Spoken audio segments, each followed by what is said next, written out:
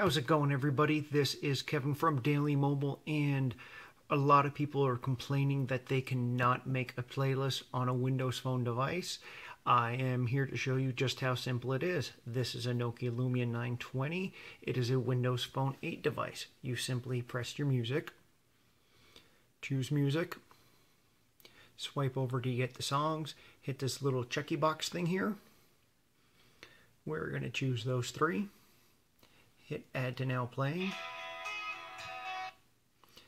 Okay, when you get there, you hit your little menu button again, hit save as playlist. We're going to call this one sample.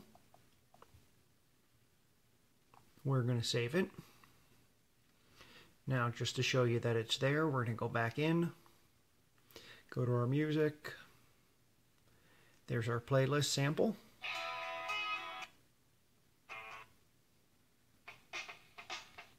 And that's pretty much it.